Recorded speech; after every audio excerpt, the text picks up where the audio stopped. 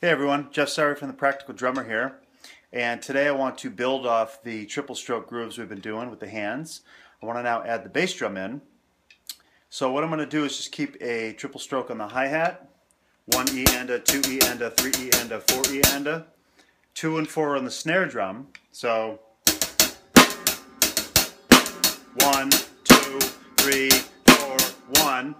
And then what I'm going to do is for a couple measures each, I'm going to use the bass drum to get a little independence, you know, using this triple stroke. So first I'm going to do one E for a couple measures, you know, all the downbeats and the E's, and then switch to E and the ands, the ands and the does, and then the does and back to the downbeat.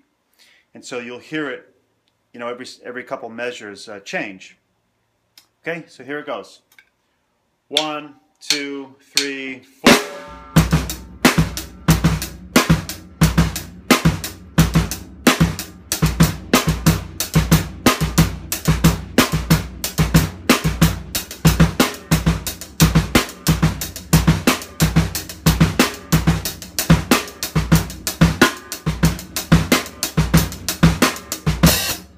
So you can see as you start practicing these variations that you'll become more comfortable playing anything really at any time.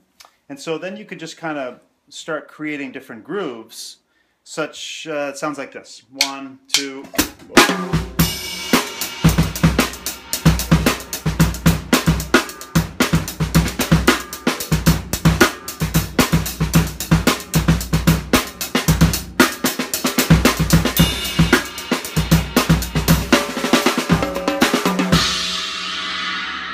So experiment with that, try it out, post on the Facebook comment below, and let me know how it goes. See you next time.